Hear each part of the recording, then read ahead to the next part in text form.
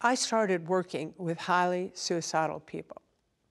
As it turned out, the people met criteria for borderline personality disorder, but A, I had never heard of borderline personality disorder, and B, I didn't know what it was.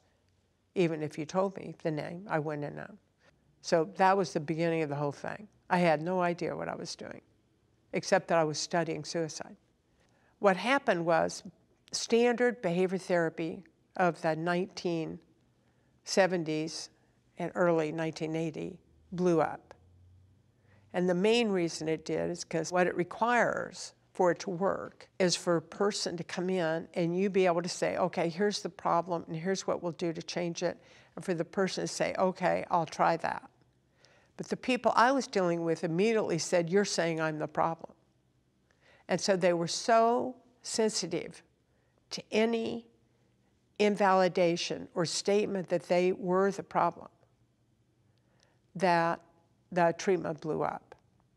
And they would either get angry at me, hide behind a chair, storm out, quit therapy, yell and scream, cry, or say they're going to kill themselves. So it didn't take me too long to figure out this was not going to work out. So I thought, okay, we're going to switch to a more acceptance-based treatment. So I'm going to validate and be very accepting. So I tried that. That blew up also because then the patient said, You mean you're not going to help me? You're just going to listen to me? Most of the patients I treat have already been through a whole lot of therapy where you talk, get listened to, and understood.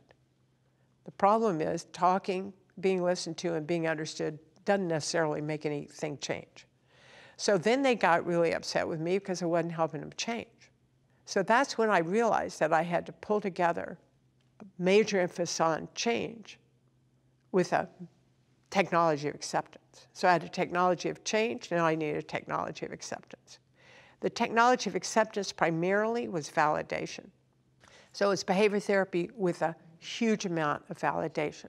So problem solving, validation are the core components of the treatment.